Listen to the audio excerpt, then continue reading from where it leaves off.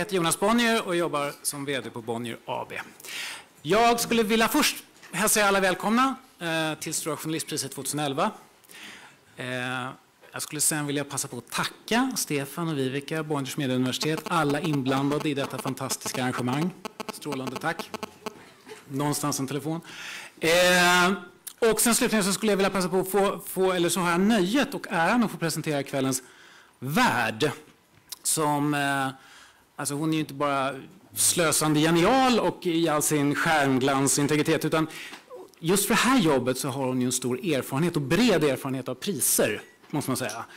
Hon har vunnit som, som eh, tv-producent, vunnit Kristallen och som eh, filmmakare vunnit vad heter det, Guldbaggen och ingår i den här lilla exklusiva kretsen av tvåfaldiga vinnare av Stora Journalistpriset.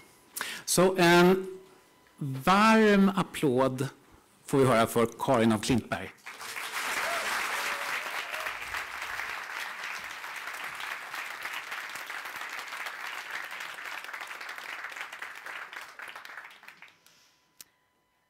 Tack Jonas.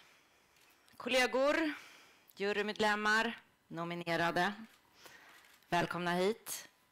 Välkomna också ni som följer oss på nätet. Eh, det är en stor ära att få stå här och leda Journalistprisgalan 2011. Eh, men jag vill att ni ska komma ihåg vem jag är. Att jag inte är en sån där flashig, skitbra programledare utan att jag är en liten skit, tre hög och en simpel producent. Kan vi ha det som deal ikväll? Ja, tack. tack. Eh, jag har frågat några programledarkollegor hur jag ska sköta mig och eh, Eh, min programledaridol Anna Hedenmo säger att jag måste släppa manuskorten. Jag får inte titta ner för mycket. Eh, jag har redan glömt bort vad jag ska säga, så då tar jag upp det igen och säger så här. Jo, då säger jag så här. Nominerade. Jag vill börja med att vända mig till er. Anders, Agneta, Erik och Amanda. Annette, Johanna, Sofia, Johanna, Linda, Peter och Mikael. Fredrik, Henrik och Mats. Karin och Marianne. Daniel och Malin. Grattis.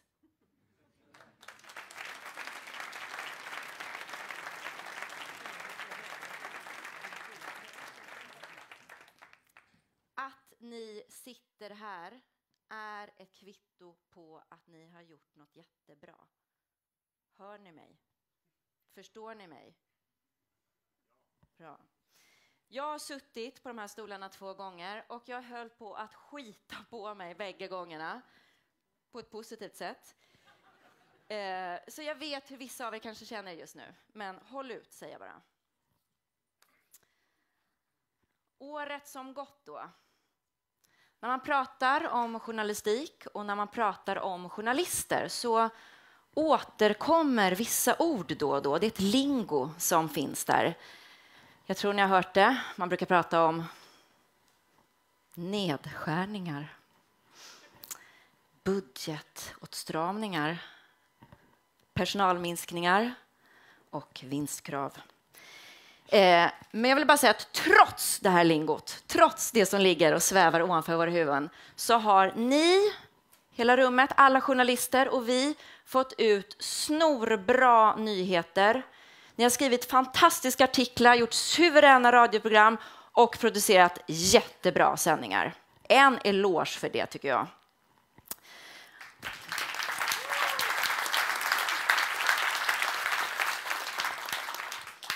Jag vill bara visa några av de exempel, nyheterna som har varit under året och som ni har rapporterat om.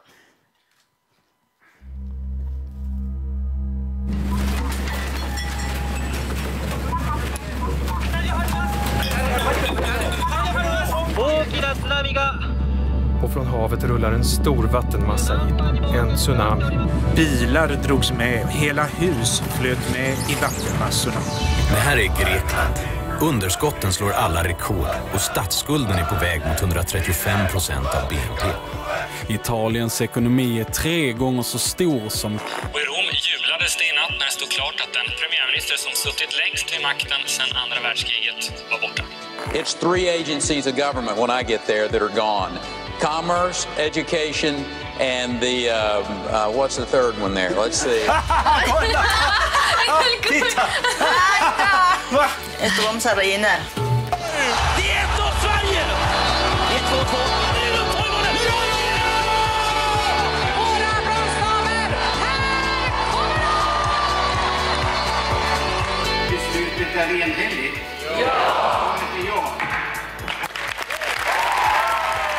Tiden i rampljuset är snart över. Men det jag egentligen vill säga är, du kan förändra världen. Ingen fram tills dess har i något sammanhang menat att jag har gjort fel. Muhammad, frustrated and ashamed by the public humiliation he endured at the hands of police, set himself on fire outside the local municipality building. Sen upproret i Libyen börjat så höll han ett långt tal där han hotade alla demonstranter och motståndare med dödsstraff och avrättning. Muammar Gaddafi får en enkel begravning med muslimska ceremoniledare på hemlig plats. Gets in his car and drives her away far from all things that we are. De jobbet jo i Etiopia, eller ett underselsk, underbolag av det bolaget jobbet i Etiopia. Så vitt jag förstår, men Du satt i styrelsen da de, det underbolaget jobbet i Etiopia? Nej. Ja, det är i hvert fall det jag har fått upplyst. Ja, men det är fel. Saab Automobil fortsätter att blöda. Tonen i våra kommentarsfält håller på att gå överstyr. Det som sen satte blixtbelysning på det här var utan tvekan eh, alltså debatten och diskussionen som följdes efter de fasansfulla händelserna i Norge, Utöja. Detta bildet från igår, medan dramaet pågår. Fotografen själv lägger inte märke till det, men i ett par korta sekunder fångar kameralinsen upp drapsmannen i det han skjuter runt sig. Steve Jobs is Apple. There, there will never ever be another Steve. I will be popular, I will be popular, I'm gonna get there! Guldbollen 2011 går till Zlatan Ibrahimovic.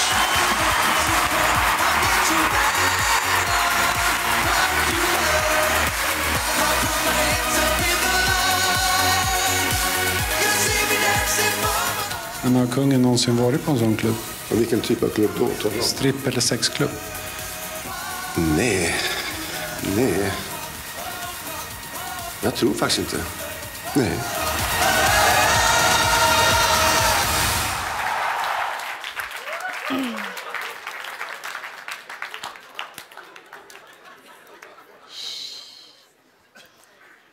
Vill också bara bli snäppet allvarligare och påminna om de 3714 dagar som David Isak suttit fängslad utan rättegång i Eritrea.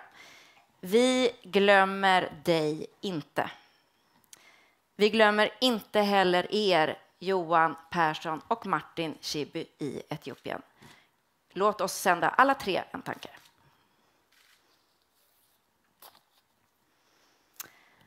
Jag frågade en annan fantastisk idol, Tom Arland, den underbara berättaren, vad som gör en bra berättelse. Han svarade direkt och sa att äh, det är det där gamla fokusknepet.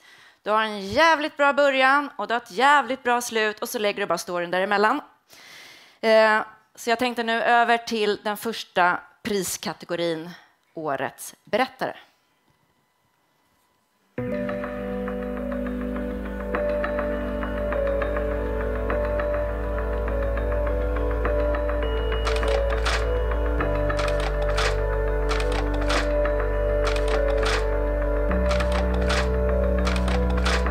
Jag kände väl att den här storyn hade egentligen allt som gör en bra berättelse. Här kan vi hitta tre stycken svenskar som kastas in i en verklighet som är helt surrealistisk. Och jag kommer ner och följer dem under en vecka där allt kan hända eh, och allt verkligen händer.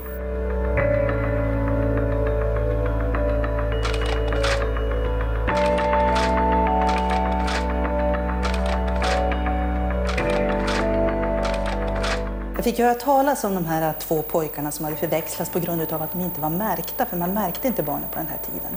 Och barnmorskan hon bar in barnen två och två till mödrarna vid amningen. Och när det här hade hänt så tänkte jag att men det måste ju rimligen ha skett fler gånger. Och tänk dig själv, två byar bara några kilometer emellan och där alla går omkring och undrar om de fått med sig rätt barn hem.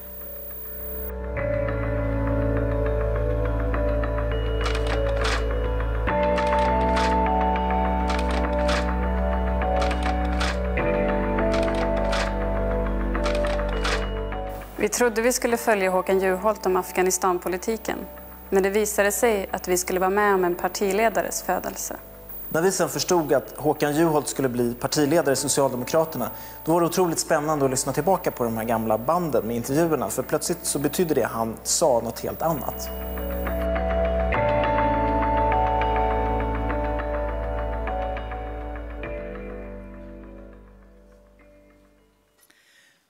Vi ska presentera motiveringarna för årets berättare. Jag heter Susanne Hobom och jag är numera frilansjournalist. Nominerad är Anders Bengtsson för i tidningen, reportage, i tidningen Offside förlåt, för reportaget You must win. Och motiveringen lyder för en berättelse om ett av världens fattigaste länder som sätter sitt framtidshopp till en svensk fotbollsspelare. F- Fotbollstränare, förlåt.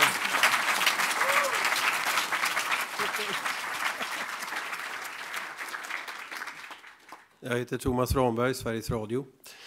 Nominerad är också Agneta Bernhardsson för sin SVT-dokumentär Kapten Nemos barn. För sin skildring av hjärtslitande förväxlingar av nyfödda barn som får oss att undra hur många fler som har drabbats.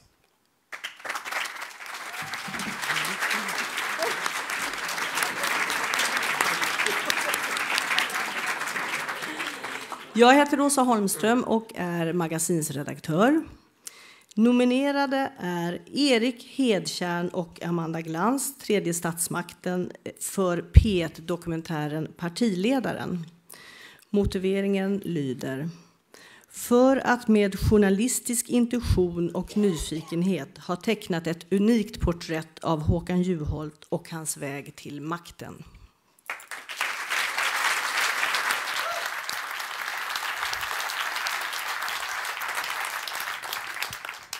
Då skulle jag vilja kalla upp juryns ordförande Jonas Bonnier och jurygruppens ordförande Magnus Karlsson från Smålandsposten upp på scen för att avslöja vinnaren.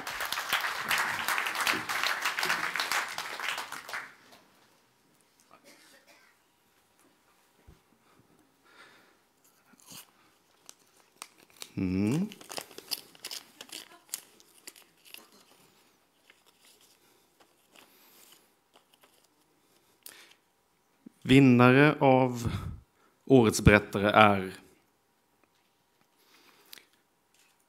Erik Hedtjörn och Amanda Glans.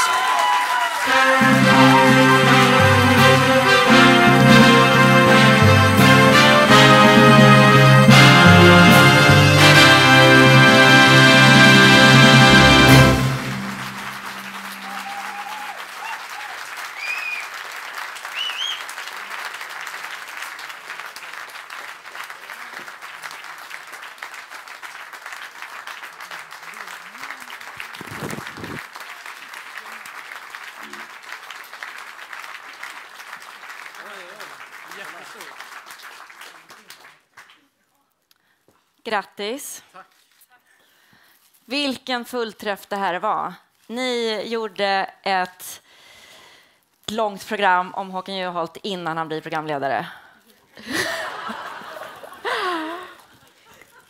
Var det tur eller skicklighet eller vad var det?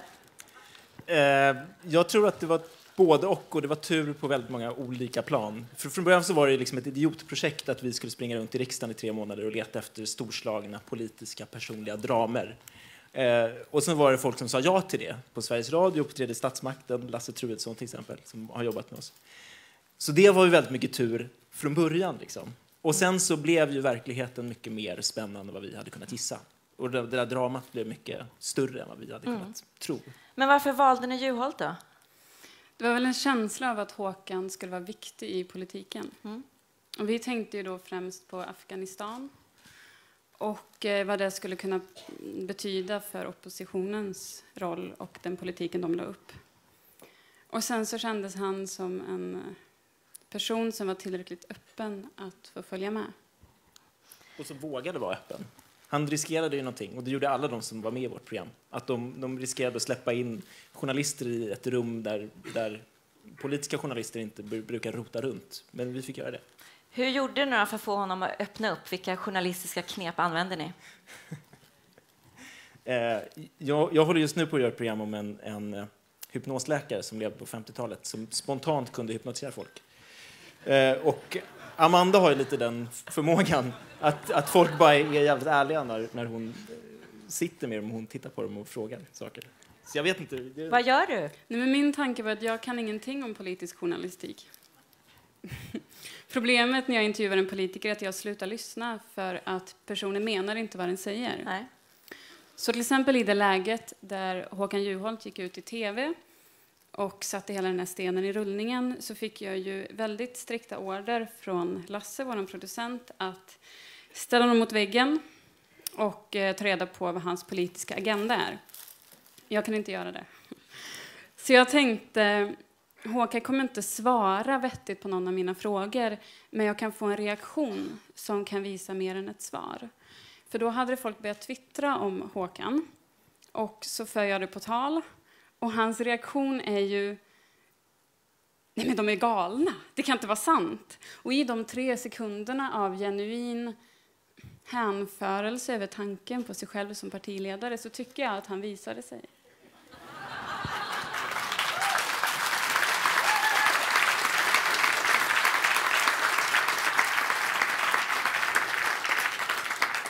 Du gör ett program om eh, en hypnosläkare. Vad gör du just nu då? Jag gör program om eh, kärlek som aldrig rostar och eh, ormar som lyssnar med hjälp av käkbenen. Tack. Eh, Förlåt. Så fortsätter vi göra politiska dokumentärer. Grattis.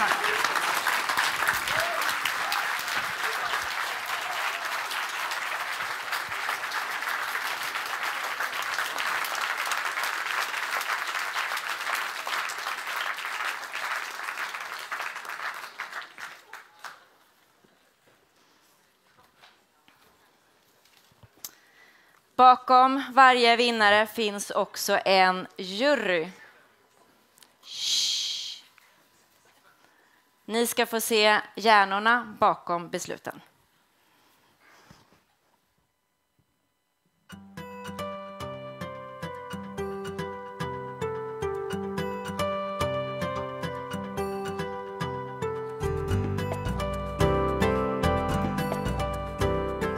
Årets skörd känns generellt sett väldigt bra. Det är vansinnigt mycket, mycket jobb. Det känns nästan som att det är mer jobb i år än vad det har varit mina tidigare år.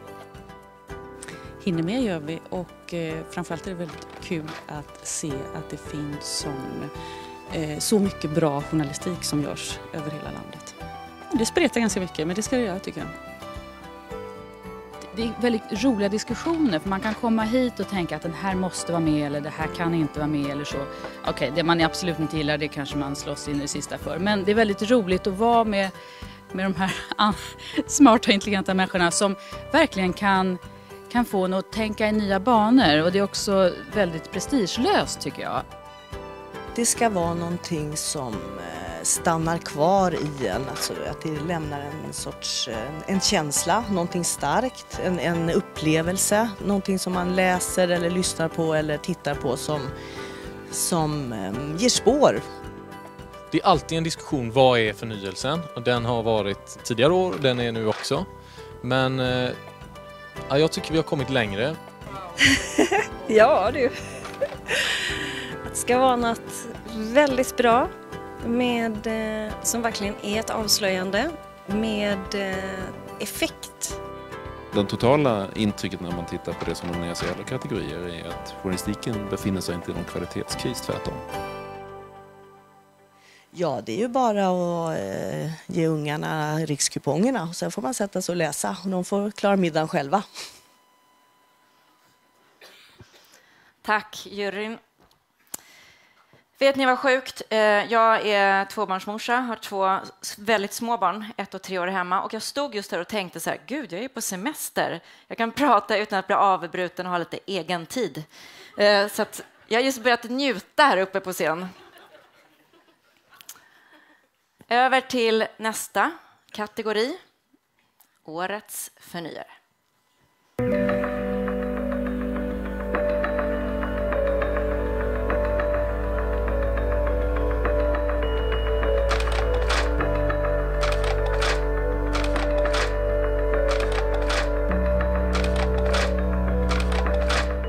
Morgon. Vi gör saker tillsammans med läsarna sedan 2009. Det är utmanande. Eh, det är som att ha 100 000 djävulsadvokater som ifrågasätter allt. Som bidrar, som eh, kritiserar, men som medskapar också journalistiken. Den blir eh, djupare, bredare och klart bättre.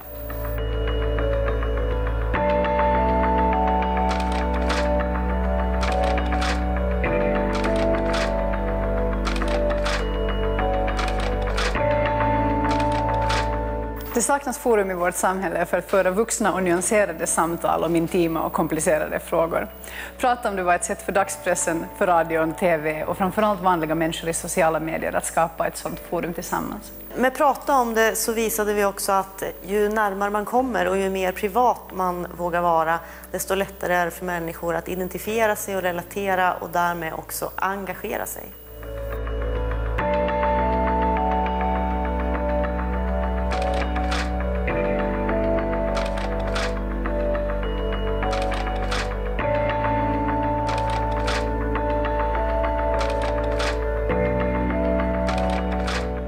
Anders Borg kom med sin budget förra året så skulle jag intervjua en långtidsarbetslös. Jag hamnade på ett ställe som hade fas 3 Jag blev helt chockad när jag kom dit. Jag hade aldrig varit på ett ställe som kändes som ett vuxendagis förut. Där ingen vågade prata, folk hasade omkring och var jätterädda. Vi bestämde oss för att vi skulle granska de här företagen som har fas 3 hos sig. Så vi begärde ut alla uppgifter från Arbetsförmedlingen. Vi fick ut uppgifter om de offentliga arbetsgivarna, men för de privata så var namn och organisationsnummer sekretessbelagda. Det här var ett stort antal uppgifter som hölls hemliga. Samtidigt visste vi att det fanns personer ute i landet som kände till dem. De personerna ville vi ha hjälp av. Så vi startade en blogg. Den gav oss inte bara konkreta journalistiska tips, vi fick också en unik inblick i fas 3 vardag.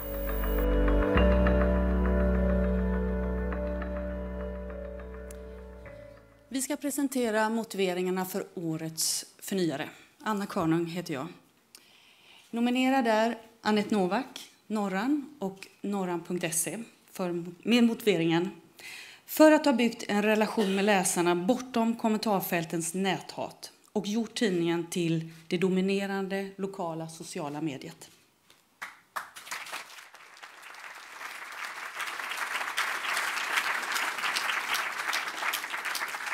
Jag heter Martin Jönsson, Svenska Dagbladet. Eh, nominerade är Johanna Koljonen och Sofia Mirjamsdotter för Prata om det. Med motiveringen för att ha gjort det privata allmängiltigt och fått en hel värld att prata om det.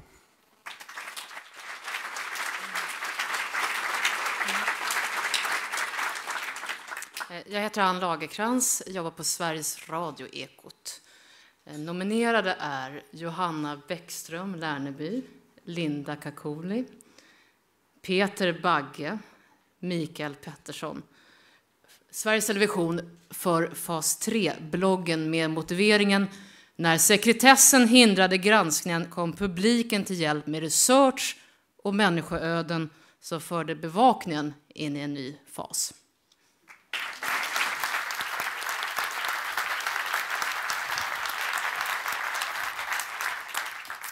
Då skulle jag återigen vilja välkomna Jonas Bonnier och jurygruppens ordförande Anders Golinger, Göteborgs-Posten. Upp på scen, tack.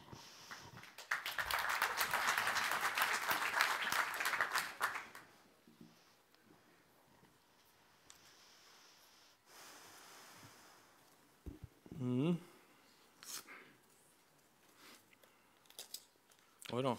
Vad allvarlig du ser ut. Man vill liksom inte riva sönder lappen, men eh, jag kanske måste. Okej.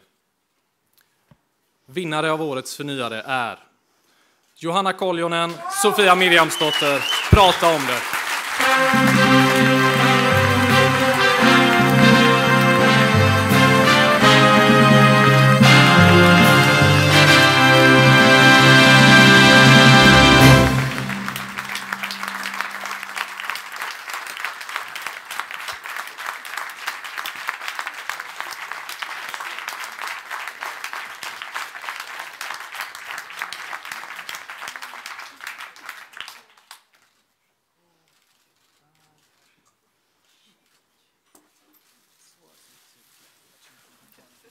Ska jag hjälpa dig med väskan?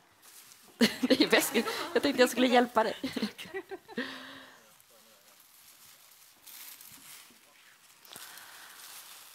Grattis. Gråter du? Lite grann. Åh, jag blir också rörd nu. Eh, nej, jag klarar inte det. Måste du gråta?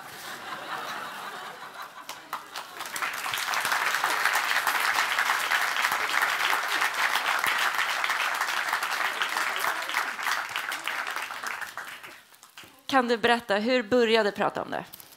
Oj. Prata om det började med ett plötsligt infall framför en tv-soffa när jag satt och twittrade eh, med en massa, en slumpmässigt urval människor, varav ganska många var journalister. Eh, och jag kom på den här idén att man kanske skulle kunna förändra någonting om vår, i vår sexuella praktik och, och i vår sexuella trygghet genom att berätta om de gångerna när sex inte riktigt har lyckats eller, eller har blivit negativt på mer eller mindre våldsamma eller destruktiva sätt. Och framförallt att utgå från inte vad som har hänt utan hur man själv tänkte och hur man kände och hur det ledde till att man förmådde skydda sig eller inte gjorde det eller gjorde, tog dåliga beslut, vilket vi förstås alla har erfarenhet av. Och det fick ganska mycket gensvar. Ja, det fick ju verkligen gensvar. vad, vad var det som hände sen? Eh, Det som hände var ju att eh, folk började prata om det. Och eh, på Twitter. Jag vet inte, jag vet inte vad jag ska säga. Vi var helt chockade. Jag vill, jag vill bara säga så här. Jag vill passa på att säga det nu när vi står här. Att det här är ert pris. Ni som pratar om det. Det är, det är inte vi liksom som har gjort Ni det här. menar alla som twittrat, alla som har uttryckt sig? eh, människor som har berättat sina historier. Ja, men då applåderar för dem Ja. då.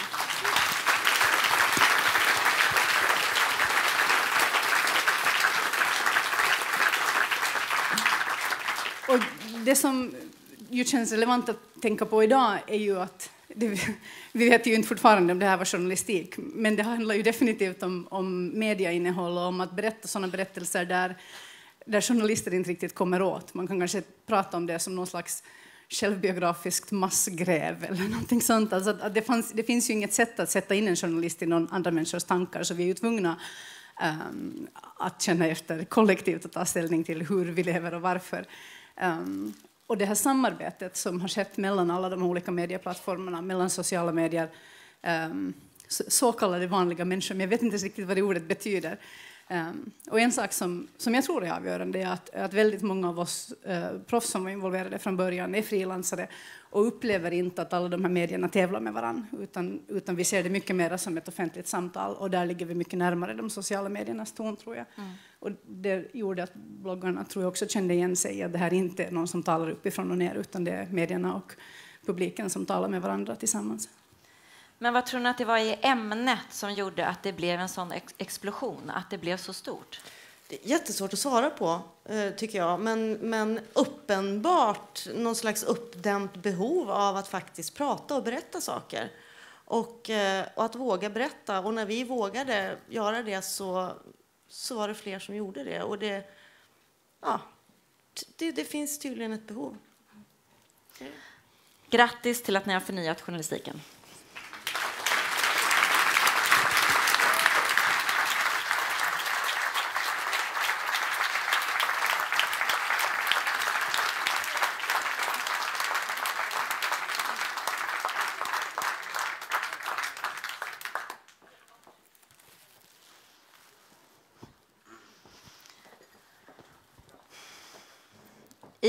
December förra året så satte en 26-årig grönsakshandlare i Tunisien eld på sig själv efter att polisen tagit hans grönsaksvagn som var hans levebröd. Mohammed eh, som han hette, Bouazizi, som han hette, eh, dog av de här skadorna och han blev ju en symbol i Tunisien för det missnöje som fanns.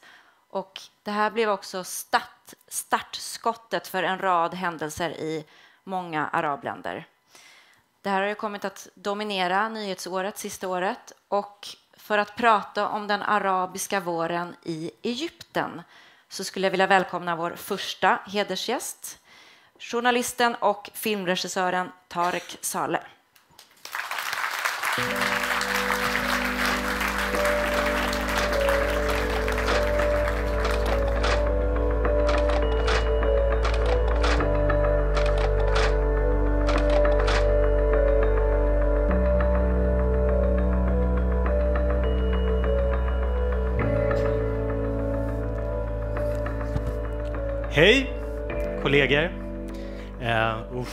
Nervöst det är att stå och prata inför er. Alltså, jag är så glad att det här bara kommer ta fem minuter.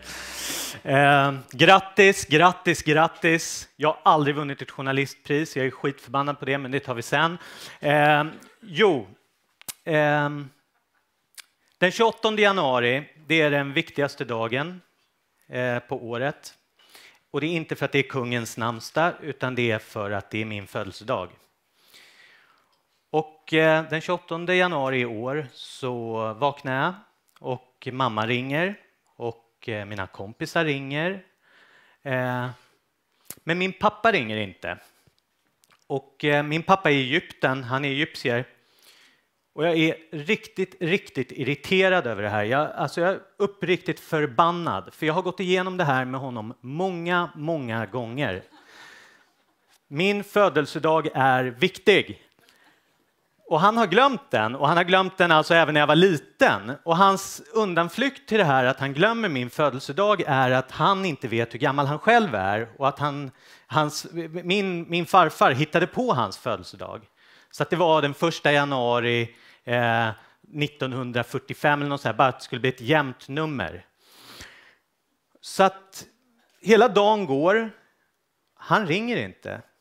Och jag är bara så här, fy fan. Eh, och jag, eh, på kvällen ska jag åka till eh, Göteborg tillsammans med min bästis Fares Fares. Vi ska DJa nere i Göteborg. Så vi sätter oss på X2000 och vi sitter där och mm, snackar och jag säger till honom igen bara, fan farsan har inte ringt, han kommer inte att ringa, men jag ska inte ringa honom. Utan jag ringer honom imorgon och säger igår var det min födelsedag. Då ringer Studio 1. Hej, vi tror att Mubarak faller idag. Eh, och jag är bara så här, va? Och det känns otroligt pinsamt för att eh, jag menar, jag är egyptier. Jag borde veta innan Studio 1 om Mubarak ska falla eller inte. Sen ringer Expressen, Dagens Nyheter, alltså, och jag är typ den enda kända, förutom Refat El Sayed, den enda kända svensk-egyptiern. Eh, och eh, de, de vill ha in mig till olika sändningar och grejer. Jag är, så, jag är bara så här, men gud, jag vet ju inget om det här. Jag, alltså, vad är det, gud, vad är det som händer? Och det som är då lite absurt i det hela är att ett år tidigare så blev jag bjuden av Svenska institutet till Beirut och där träffade jag alla de här bloggarna. Eh, och de berättade om deras arbete och så. Och jag konstaterade hur modiga de var. Men jag tänkte, det finns inte en chans. Ni kommer aldrig, aldrig kunna störta den här skitstöven. Det kommer aldrig gå. Han har, hans maktapparat är alldeles för stor. Och eh, det var en bloggare vid det här tillfället som frågade en representant för Svenska institutet så här, varför ordnar ni den här träffen för oss bloggare? Varför gör ni det, Sverige? Varför, varför har ni bjudit hit oss? Och då svarar Svenska institutet, representanten, i en stund av ärlighet. Jo, för nästa gång ni protesterar på gatorna hoppas vi att ni inte bränner ner vår ambassad igen. Och det var ett viktigt arbete som ledde fram till den här revolutionen. När jag har lagt på luren så säger jag till Fares, de håller på att göra revolution i Egypten. Och Fares flydde ju från kriget i Beirut så att han var så här, äh, det där kommer aldrig, det kommer inte bli något. Det kommer inte bli något, det kommer aldrig gå. Men jag tänkte så här, shit, det kanske är något med farsan. Jag kanske borde ringa honom faktiskt, även om det är min födelsedag. Så jag ringer. Då ligger hela mobilnätet nere. Och jag börjar inse att shit, det här är allvar. Det är faktiskt allvar. Det pågår en riktig, någonting som kan likna en riktig revolution. Nu den 28 januari var den dagen snuten försvann från gatorna. Alltså polisen är inte som i Sverige, utan det, polisen var ju väldigt, väldigt korrupt och, och hatad.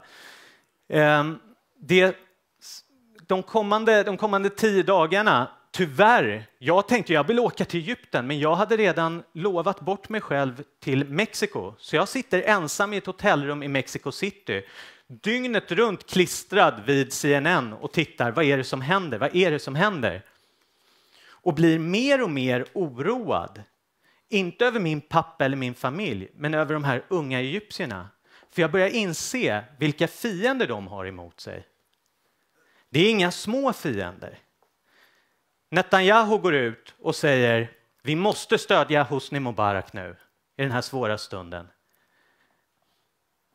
Hillary Clinton, Biden, Saudiarabien. Det är mäktiga grannar, stora intressen. Alla ställer sig bakom Hosni Mubarak. Och jag tänker så här, hur ska de här unga människorna någonsin klara av att stå upp mot den typen av intressen?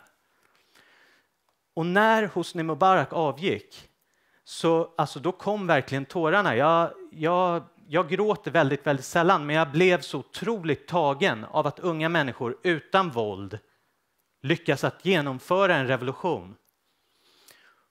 Och jag märkte även bland vanliga svenskar som inte visste särskilt mycket om Egypten hur otroligt tagna de var av det här. Att unga människor som bara vill ha frihet liksom hade lyckats genomföra det här. Och idag, när vi bara är några dagar ifrån de första valen och vi ser de oroligheter och det som händer där så, så tänker man så här, men gud, fan, det finns alla anledningar att vara pessimistisk, det här militärrådet och så vidare. Men jag tror att de egyptiska ungdomarna kan lära oss någonting som vi själva måste påminna oss om hela tiden.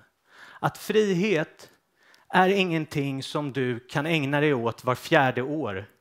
Inte en gång om året, inte en gång i månaden, inte en gång i veckan, utan varje dag måste du återta din frihet. Och det är det som de här unga människorna har visat. Tack för att ni lyssnade.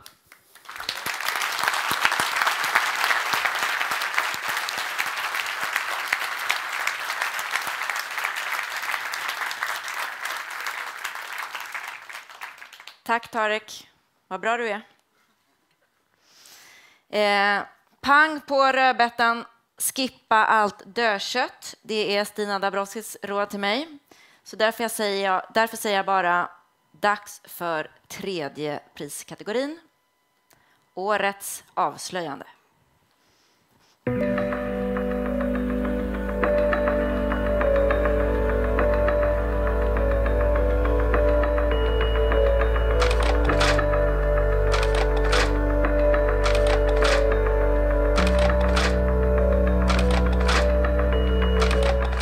Man kan säga att det var drottningen själv som satte oss på spåren i den här historien.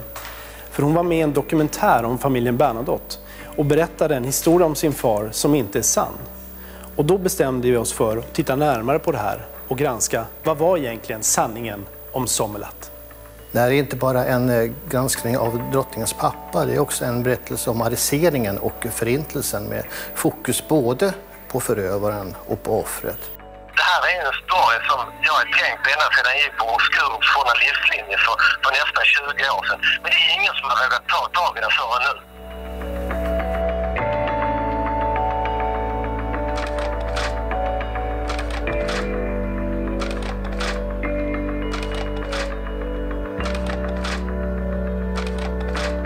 Vi fick ett förtvivlat brev från Benny där han berättade om sin älskade sambo och blivande fru Kristina. Hon åkte till Polen och hon gjorde en bröstförstoring. Det slutade i en tragedi. Det här blottade Polens största vårdskandal. Sjukhusdirektörernas huvuden började att rulla. Den här historien kunde vi inte låta bli att berätta.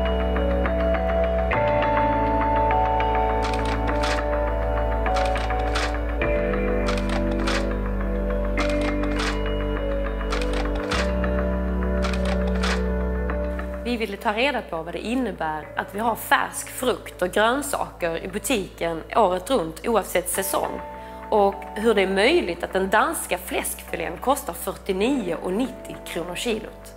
För att få reda på svaret på den här frågan åkte vi iväg på en resa som tog oss jorden runt. Till de här gigantiska sojafälten i Brasilien, till trånga fiskdammar i Vietnam och till djurfabriker där djuren förvandlas till produktionsenheter i en industri.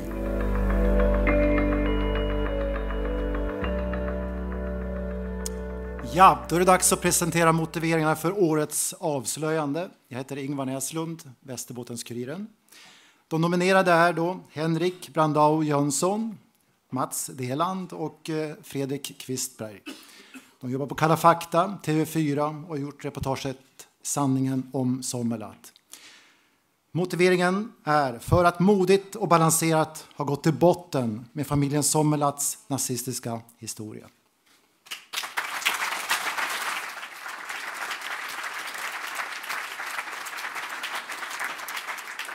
Och jag heter Anna Jaktén, Göteborgs universitet. Nominerade är Karin Mattisson och Marianne Westman, SVT Uppdrag granskning. Och motiveringen lyder för Vård utan gränser och Skönhetsresan.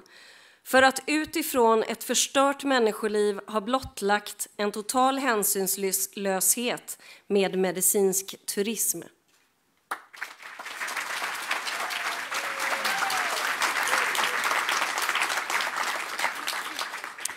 Och jag heter Heidi Avelan, jobbar på Sydsvenskan. Nominerade är Malin Olofsson och Daniel Öhman, Ekot Sveriges Radio för radioserien och reportageboken Matens pris. Med motiveringen för att de avslöjat det orimligt höga pris som djur, människor och miljö betalar för vår billiga mat.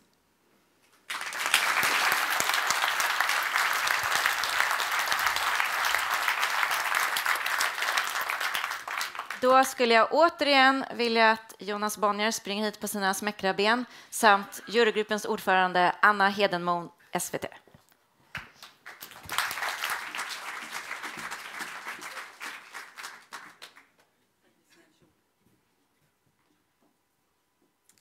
Ja, ni.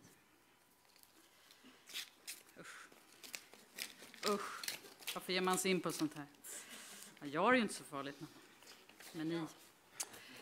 Men vem sa något? Du. Du klarar det väldigt bra. Okej. Vinnare av Stora journalistpriset, Årets avslöjande. Malin Olofsson och Daniel Öhman, Ekot!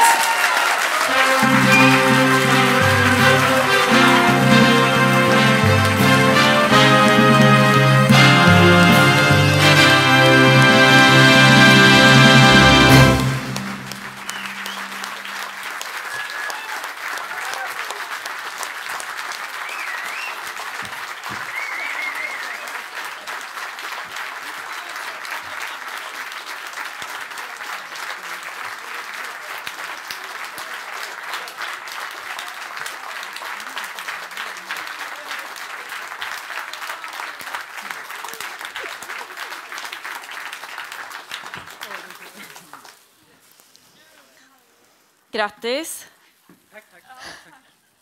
Prata här? Ja. Vill du hålla själv? Ja, kanske jag kanske ramlar omkull, men okej. Hur mår ja. ni? Ja, det, det känns ju helt fantastiskt. Och att, eh, och att vinna för just det här jobbet känns så otroligt stort för mig. För att jag har aldrig i min karriär, som, ja, så, så länge jag har jobbat, gjort något som har varit bättre, roligare, eh, mer omtumlande och viktigare än det här jobbet. Så jag är sjukt stolt idag. Ni har gjort...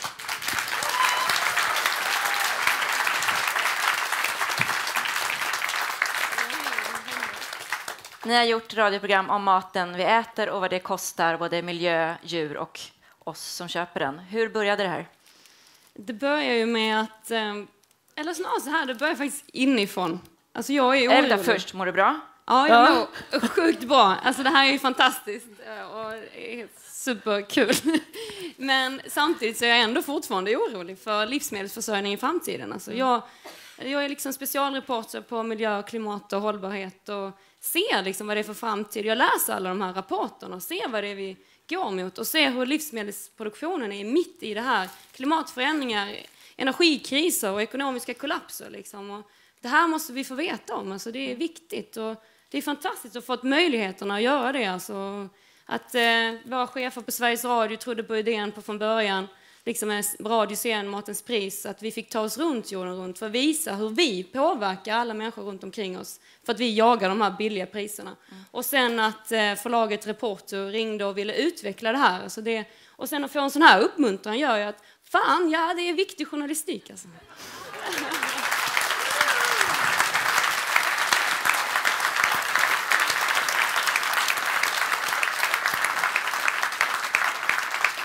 Ni har ju verkligen åkt jorden runt. Vad, vad har upprört er mest?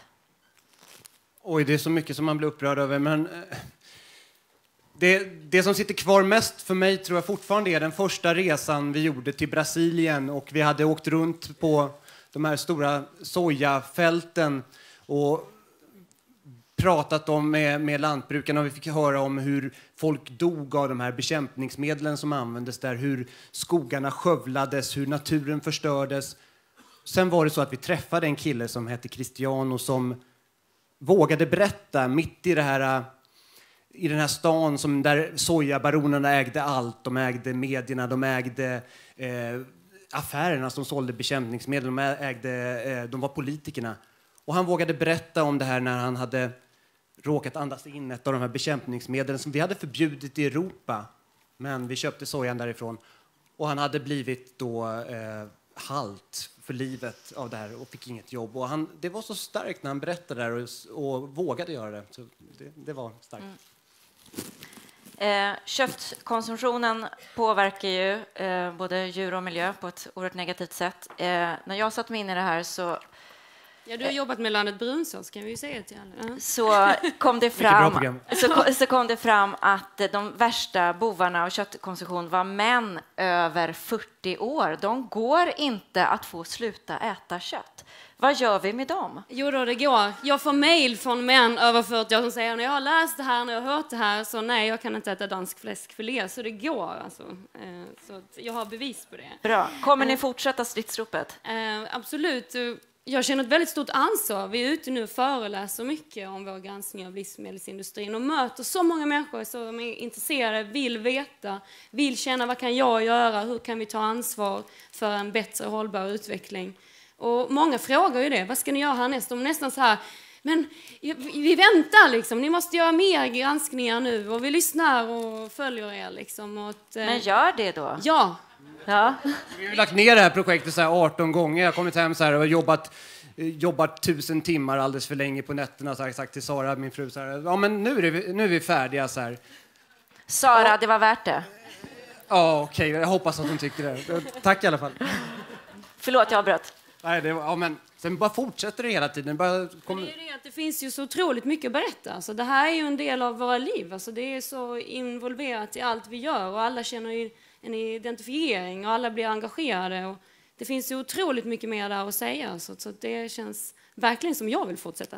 Bra. Jag också. Grattis till en fin serie och en fantastisk bok. Och micken ska jag ta.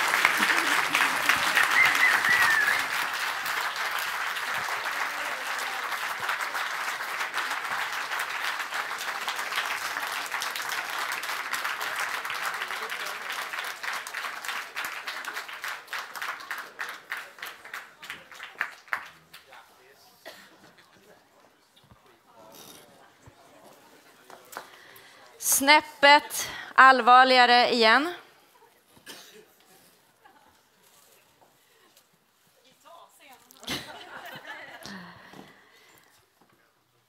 Det finns ingen här i rummet som inte blev skakad då ni hörde vad som hade hänt i Oslo och på Utöja 22 juli i somras. Man minns var man var och vad man gjorde. Eh, det är ju helt ofattbart Eh, för att prata om det här så har vi bjudit in vår andra hedersgäst, Hanne Skartveit, politisk redaktör på Världens Gang.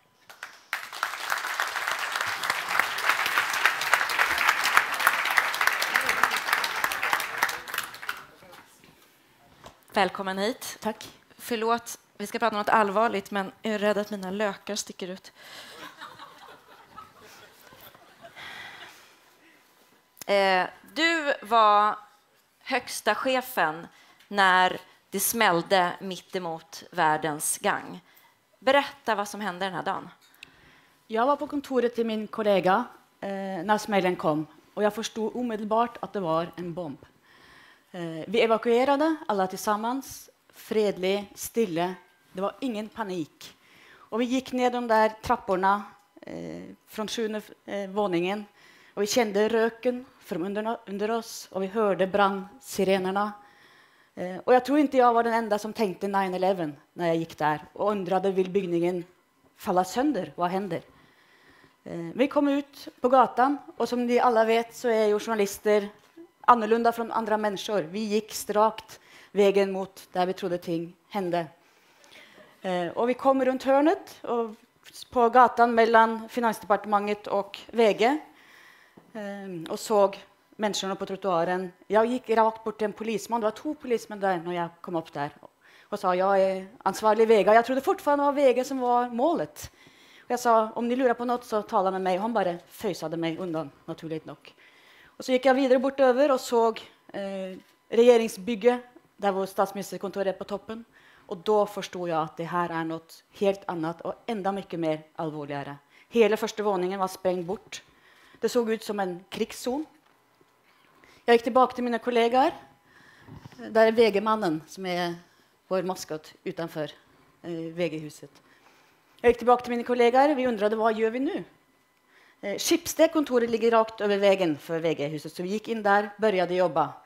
Vår eh, nätredaktion jobbade redan. Bomben gick av 15.26 och vi hade vår första story ute på nätsajten vår 15.34, 8 minuter. Det var en av våra journalister som pluggade sig in på en bar på nedsidan av väghuset och publicerade rakt därifrån. Det är ju helt otroligt. Ja, och nyhetsarbetet startade ju rakt med en gång. Eh, men när vi kom till Schibsted så var den stora utmaningen, och det vet alla ni som jobbar med papperstidning, hur producerar vi tidningen? Allt vårt produktionsmaterial var inne i väghuset. Så vi fick eh, olika tekniska folk som kom in från semester från hemma och startade jobba med det här. Eh, och det såg ut att det löste sig. Men så fick vi veta att vi kunde komma tillbaka till VG-huset, så vi strömde alla ut. Och jag började tala med en polisman som sa nej, nej. Och medan jag stod där och talade med han så fick vi ett telefonsamtal. Vi eh, har en film på det som du, som du beskrev. Titta på den.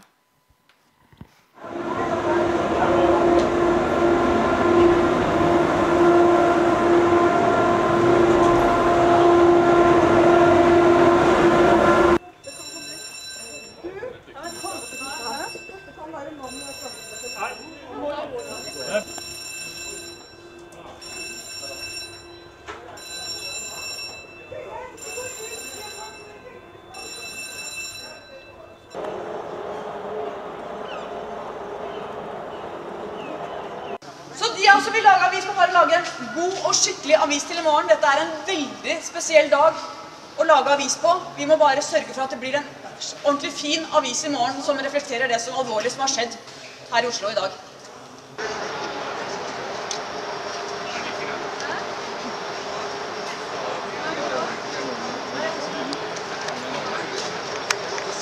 Ja. Dette er han som starter. Skyting på. Er det mange som skyter? Er det noen som er skadet?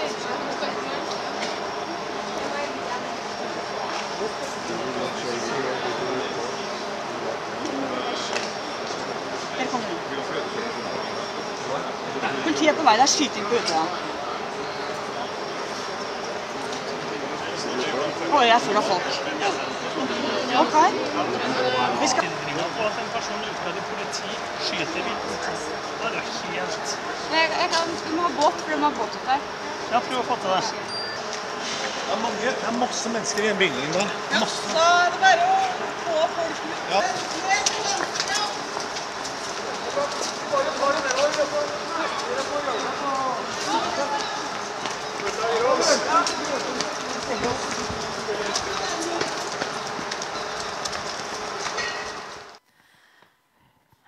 Jag tycker att det är en jättejobbig film att se och jag var inte där. Vad, vad känner du som var på plats? Jag kommer aldrig att glömma det ögonblicket när den telefonen kom. För att bomben mot regeringskvartalet var inom det påregnliga på ett sätt. När jag stod och såg blocken i regeringskvartalet tänkte jag aha, terrorn har kommit till Norge. Det måste kanske hända. Men när jag fick den telefonen om Utöya så blev det öppnades ett annat rum på ett sätt. Det var ett stort svart hål. Jag tänkte, vad är det som händer med vårt land? Är, vi är under angrepp, de skjuter barn och ungdomar. Vad är det här för något? Vad är det nästa? Um, så jag kommer aldrig att glömma det ögonblicket. Jag förstår det. Va, vad, vad hände då? Hur leder du en redaktion efter ett sånt här samtal mitt i det här kaoset? Vi måste ändra fokus. Och som ni såg, vår, vår nyhetsledare Marius och de två fotograferna, hon ena säger där, vi måste ha båt för att komma ut där. Hon hade varit där den dagen. Hon hade varit där sammen med vår före detta statsminister Gro Harlem Brundtland och hade kommit tillbaka. Så hon vet ju eftertid att eh, han var egentligen efter Gro Harlem Brundtland. Ehm, så hon, hon eh, har tagit många goda bilder efteråt och har varit väldigt involverad naturligt nog i det här. Vi måste jobba på samma vis. Vi gick tillbaka till Schibsted med ändrad fokus. Uh, sände folk ut till Sundvallen där de pårörande började samla sig. Vi måste finna ut vad som hände. Och vi visste ju att det var ett enormt informationsbehov där ute. Folk måste veta vad som hände. Så vi lämpade ut saker hela tiden på nettsajten, organiserade arbetet i papperstidningen eh, och var på Schibsted eh, igen. Fram till, som du också såg på den filmen, vi blev kastade ut en gång till för de trodde att det var flera bomber. Så polisen kom som ni såg med vapen och skydd och sa att ni måste ut, det är flera bomber. Och för mig var det det mest kritiska ögonblicket som ledare den dagen. För att jag visste att om vi nu blir spridda för alla vindar så får vi inte laga avis. Då, då har vi inte någon redaktion längre. Så jag sa, det första som föll mig, sa vi går till Café Hambro, som är en café i närleken. Eh, och så stod jag där och väntade till alla kom och så sände jag en kollega runt hörnet till eh, ett hotell som heter Bristol för att han skulle finna rum. Och när jag stod där, det var enda ögonblicket den dagen hvor jag på ett vis var bevisst min egen rädsla. Jag tänkte det är, kan vara nya bomber. Centrum var helt tom för folk. Vi stod helt oskyddade, sårbara. Så var det fem minuter eller så, så kom Anders, min kollega, tillbaka och sa ja, vi kan dra till Bristol. Och så drog vi dit och hyrde sex suiter, tre i sjätte våningen, tre i sjunde våningen och så hade vi en nödredaktion och lagade avis från hotellet. Laga avis, göra papperstidning? Göra papperstidning från hotellet. Mm. Det är så mycket svåra beslut i det här. Där och då på hotellet, alla skulle må bra. Eh, mat, sömn och nyheter ska komma ut. Hur tänker man? Jag är alltid, I alla kris tänker jag alltid mat. Folk måste äta. För att om de inte äter så kan de inte jobba. Nej. Så vi ordnade med smörgåsar till alla. Vi fick en psykiater in omedelbart. Det är klart, för många var det ett chock. Särskilt inte så mycket för journalisterna. Vi är vant till att vara i kriget, så att säga. Men särskilt för de administrativt anställda. Detta var ett chock för alla. Det var en situation som vi aldrig någonsin trodde vi skulle vara i. Så vi hade en psykiater som satt i änden av hallen av korridoren hela kvällen och bevakade folk och talade med dem som trängde det. Och så var det publicistiska. Eh, det mest krävande var bilderna. Vad slags bilder skulle vi lägga ut? Och vi la ut på nätet. Eh, det var ju ett tillfång av bilder som vi kan tänka er. Um, ehm, och så såg vi då att folk reagerade om vi la några bilder på fronten av nätet. Så kom det Twitters och e-mail och, och så där. Så vi sa då lägger vi det längre bak och så brukade vi det till justera så alltså vi inte tryckade de värsta bilderna i, i papperstidningen. Vårt pressetiska um, beslut hela tiden var att vi ska dokumentera, inte spekulera. Dokumentation, inte spekulation. Så men, de här bilderna men det har ändå inte varit helt okontroversiellt. Va? Ja, det, var, det var inte så kontroversiellt. Vi såg på hennes ögon att hon, var, hon ville bli bra. Och några dagar senare så tryckte vi faktiskt ett bild med henne med bandage runt för och sa jag mår fint. Men de här bilderna, vi tryckte dem ganska smått i avisen. Vi hade ett uppslag där vi hade de bilderna små. Här var hon, här var hon. Vi berättade inte dem ut i stort. Men det var komplicerat och efteråt, intressant, för efteråt så är det ryska journalister har sagt, sagt till oss varför trycker det inte, inte mera brutala eh, bilder? Det, det blev antiseptiskt på ett vis. Ni visste inte brutaliteten, ni visste inte hur illa det egentligen var. Men engelska journalister frågade oss varför var ni inte mera kritiska mot myndigheterna, mot polisen, mot politikerna? Och mitt svar är att de första dagarna så trängde Norge på ett vis att sörja, att sluta tillsammans. Nu är det tiden för kritik, men jag tror vi måste igenom en slags sorgprocess. Mm. Men det var ju svåra publicistiska avgöranden, både i bilder såklart och i text. Och det var en serie bilder som väckte mycket uppmärksamhet. Det är när eh, polisrekonstruktionen ute på Utöja, när Anders Breivik eh, går rundan som han gick och eh, låtsas skjuta. Berätta om reaktionerna på den bildserien. Vi var den enda redaktionen som visste att den här rekonstruktionen skulle finnas sted. Så vi dokumenterade det, tog bilder och publicerade det i vår tidning. På fronten hade vi inte det bilden här. Vi hade ett, ett bild där han eh, står och pekar inåt och bort från eh, seerne, Och så hade vi många uppslag inåt. i avisen. Det var det sista bildet, faktiskt. det var medveten för att vi ville att bara de som verkligen ville se, skulle bredda sig helt in och se det. Men eh, eh, pårörande och offra var, blev vansinnigt arga. De sa sist jag såg han stå så här så sköt han på mig. Eh, och eh, publiken blev också mycket sint. Och det som var fel från oss var att vi hade på fronten så hade vi också exklusivt en sån bannare. Och det hade vi verkligen inte tänkt att ha för att det här det är inte något skup, det är dokumentation av något fruktansvärt. Och sen så började några av våra medarbetare, de var så stolta. Det är naturligt, det är ju ett mycket bra journalistiskt arbete, men de började twittra. Wow, se vad vi får till. Jättekul. Och det väckade sån anstöt ute bland folk. Så vår chefredaktör Torre Pedersen sände ut mejl till alla i VG. Sluta, sluta omedelbart med Twitter. In, inget mer. Men skadan var på ett vis gjord. Han hade en nyhetskommentar dagen efteråt där han skrev och beklagade och sa att det var fel. Han var i radiodebatter och så vidare.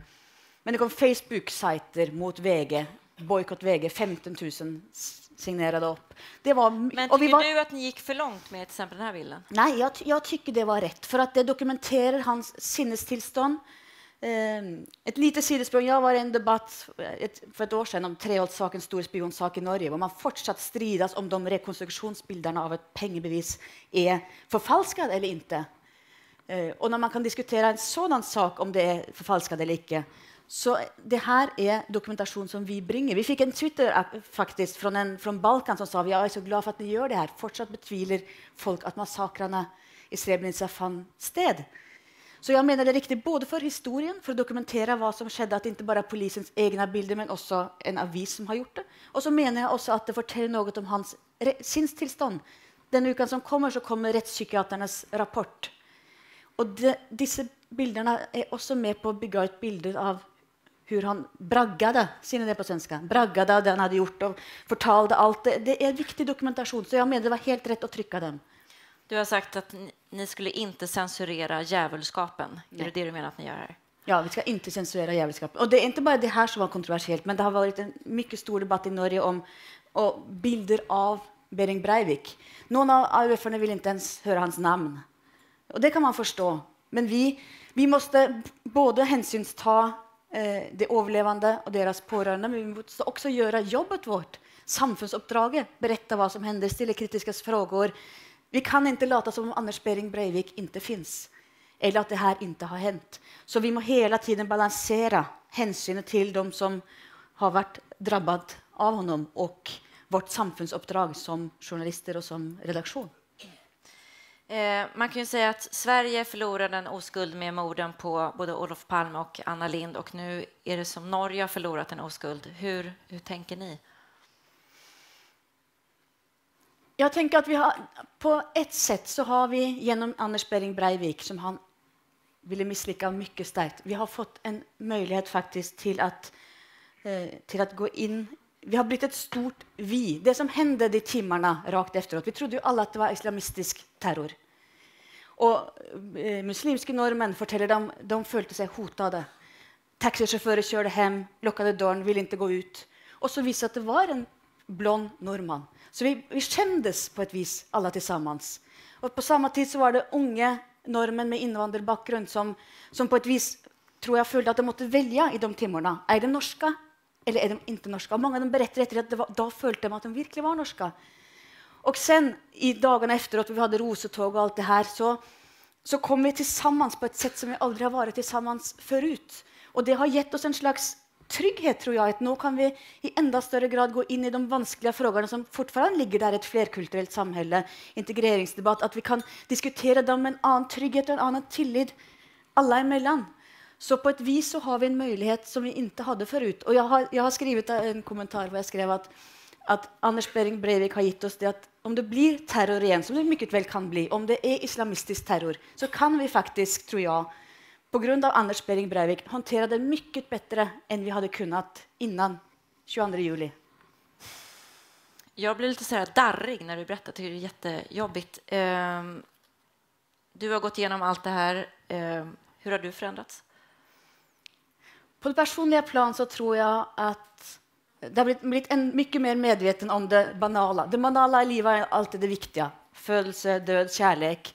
Och på ett personligt plan så blir du ända mer medveten att livet är nu. Du ska ta vara på dina närmaste. Och som journalist och redaktör så är jag ända mer medveten på det ansvar vi har för att resa viktiga problemställningar, för att eh, sörja för en god debatt i samhället, för att bringa fakta fram, inte vika undan de svåra frågorna och bygga bro, men med kritisk dialog. Så som professionell så må jag säga att jag är ända mest stolt av jobbet jag har och den rollen vi spelar i samhället. Stort tack, Hannes Gartvedt, för att du kom hit. Vad bra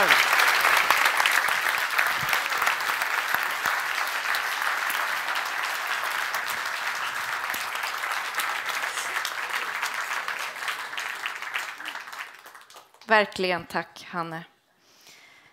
Vi är framme vid det sista priset. Eh, priset för gediget arbete under många, många år.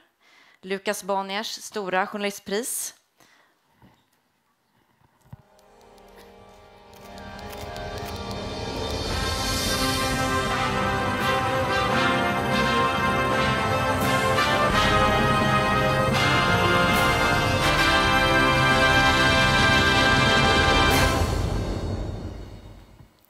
För sista gången så skulle jag vilja säga välkommen upp Jonas Bonnier och Anders Golinger för att avslöja vem vinnaren är.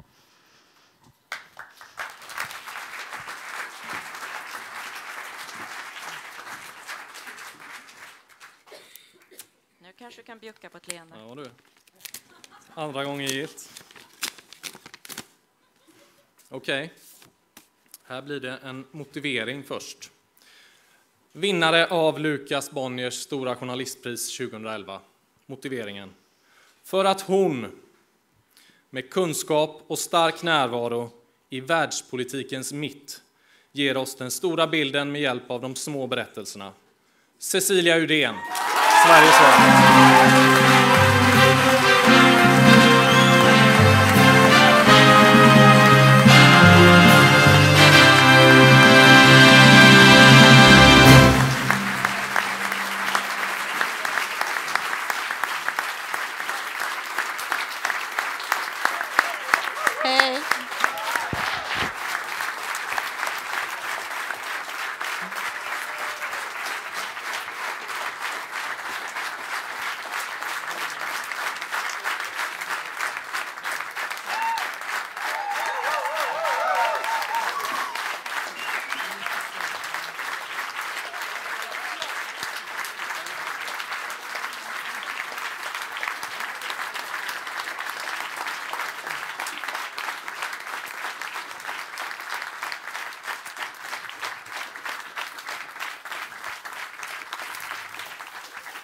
De står upp. Eh, jag måste få berömma dig. Jag tycker att du är en fantastisk berättare. Du är så varm. Shh. Varm. Du är så varm och personlig och eh, när du eh, pratar så lyssnar jag. Så att jag vill tack för att du är så bra och det är också därför du står här. Eh, ju, juryn säger att du ger den stora bilden genom de små berättelserna. Det gör du ju verkligen. Du står du pratar med någon grönsakshandlare, du hänger hemma hos någon mormor, du står på torget. Eh, hur skulle du själv beskriva din egen berättarstil? Ja, jag brukar säga att eh, när man ser CNNs kameror så måste man gå åt andra hållet. Det är inte jag som har hittat på det, det är Karsten Jensen. Men jag har slutat egentligen säga det eftersom nu under den arabiska våren så har man varit tvungen att gå åt samma håll, åtminstone som Al Jazeera som har gjort ett otroligt jobb. Det är andra gången du får pris. Eh, Ska du säga? Ja. ja. Eh, jag har ingen svar på det. Eh, jag har inte fått det där. Nej, du är för ung. Ja, det här är seniorpriset. Mm. Eh, första gången kunde du inte ta emot priset. Vad gjorde du då? Eh, jag var gravid i åttonde månaden. Aha, jag trodde du hängde på något torg någonstans. Eh, Du har ju fått det här priset för dina fantastiska insatser genom många år, men det här sista året har ju du verkligen varit in media-res. Eh, Eh, det måste varit ett av de mest nyhetsintensiva någonsin. Berätta. Ja, något av det mest otroliga som jag och alla mina kollegor i Mellanöstern har varit med om, där vi har sett under många år såna här små protestyngel som har stått och skrapat med foten inför de väldiga porträtten av olika auktoritära ledare och aldrig kommit någon vart. Men plötsligt så eh, med Mohammed Bouazizi och alla dessa enormt modiga, framförallt unga människor i arabvärlden som jag verkligen vill tillägna detta pris. Mm. Jag har sällan sett så mycket mod och beslutsamhet som under det här året. Det är som ett stycke av Tahrirtorget är här i och med dig. Du gör det väldigt levande. Nu kokar det igen. Du blev slagen i veckan. Ja, av en av eh, Tantawis eh, kravallpoliser. Samma som Mubarak använde sig av förstås. Och, eh, jag var, hade sökt skydd undan tårgasen för den var, som många har sagt nu, på Tahrirtorget. Det här året så har tårgasen varit förjävlig, alltså nu de senaste, den senaste veckan. Och det har spekulerats i nervgas och en massa annat, vilket jag kanske inte Eh, tror att det är. Men eh, jag sökte skydd undan tårgasen, sprang in på en resebyrå och stod där eh, med eh, näsdukar med vinäger och man smetar gästvatten i ansiktet, hjälper också mot tårgas. Och, och sen när jag gick ut igen så ställde jag mig dumt nog för att ta en bild på eh, kravallpolis och militär som då började bränna ner alla tält mitt på torget som eh, Eh, demonstranterna rest. Och medan jag gjorde det så kom eh, tre eller fyra kravallpoliser eh, omringade mig och knuffade till mig och slog mig. Inte, jag menar, inte i ansiktet, jag fick inga men av det, men de tog min bandare och eh, mobiltelefonen. Bandaren fick jag tillbaka sen för att det kom folk eh, till min hjälp. Eh, en eh, banktjänsteman som bände upp fingrarna på kravallpolisen, tog bandaren och sen tog han mig stadigt under armen och sa följ med här nu. Och då trodde jag att han var en civilklädd polis.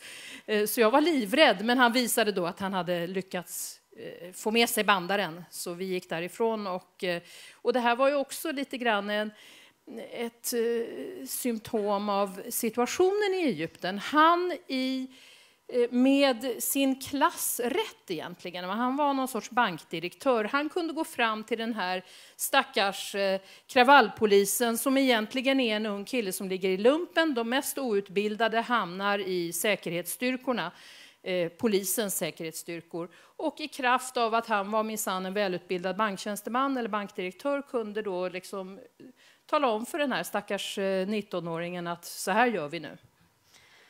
Stämmer det att du har sagt att du som så kallad tant har lättare att ta dig fram än yngre kollegor med stora utrustningar?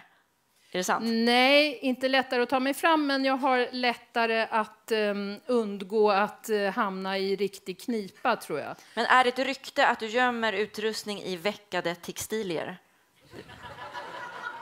Veckade? Alltså som kjolar. Ja, det kan väl hända. Det har hänt.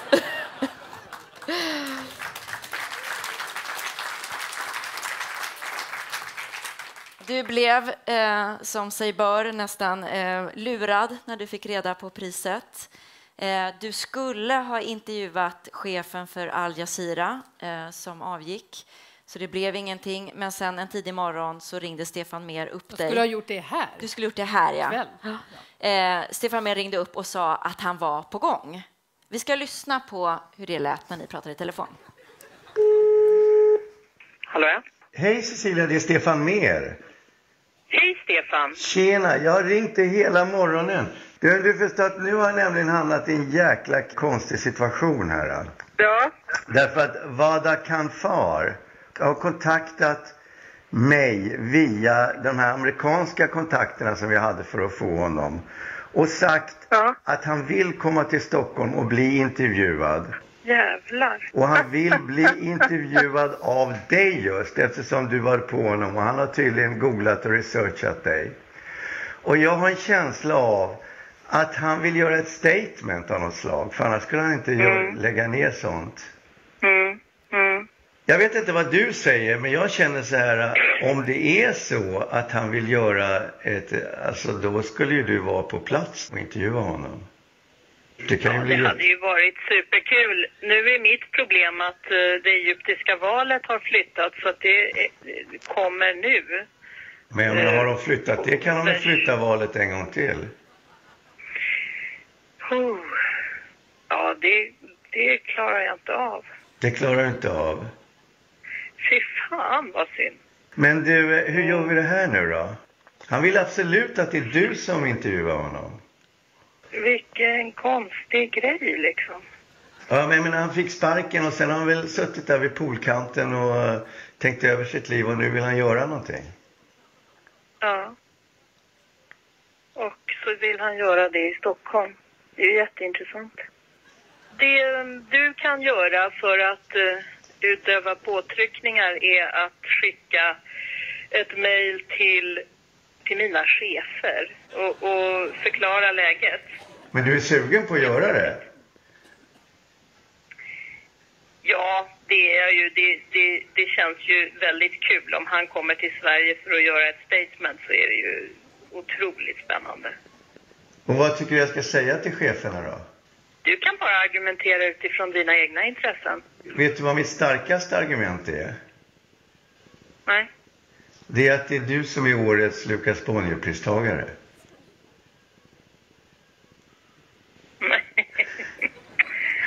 Men gud.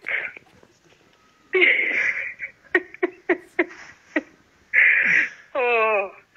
Och nu har du suttit och spelat in allt det här. Ja, alldeles riktigt. Åh nej. Vad taskig du är. ja, är jag inte. Det, det är det värsta jag vet, att bli Hassan, Hassanad. Ja, ja, men jag är- känner mig helt mållös faktiskt. Eh, gud vad roligt, fantastiskt. Usch. Det, det, det blir jättekul. Jag kommer naturligtvis. Och eh, vilken ära.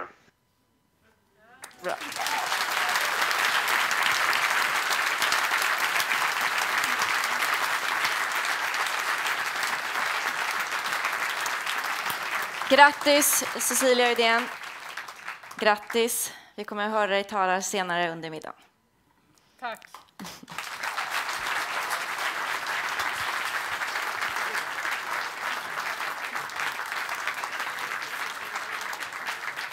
Jag kan väl prata lite medan de fotar så känner vi några minuter. Eh, Anna Hedenmo har nämligen sagt till mig avsluta hellre för tidigt än för sent. Eh, jag vet inte riktigt om jag har hållit det. Tack juryn, tack alla vinnare och väldigt värdiga medtävlare. Tack Hannes Gartveit och Tarek Sale. Tack. Eh, tack ni som har följt vår webbsändning och tack ni kollegor som har gett mig tips hur jag ska föra mig.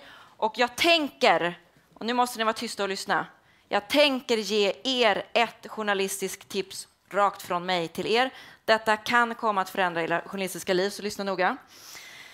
Eh, ni sitter med intervjupersonen framför er. Ni ställer en, två, tre frågor. Det här lämpar sig mest för tv, måste jag säga. Ni ställer de här inledande frågorna. Ni kastar en blick i monitorn. Dubbelblick kan man göra. Eh, tillbaks till intervjupersonen så säger ni Du är så snygg. Detta får den mest tillslutna person att blomma upp och ut kommer de mest fantastiska berättelser. Det här gjorde jag och Jane Magnusson när vi gjorde Ebbe the Movie. Och jag lovar er, Ingvar Carlsson fick en sju meter hög hatt och började berätta om vad som hände. Varsågoda, det är helt gratis.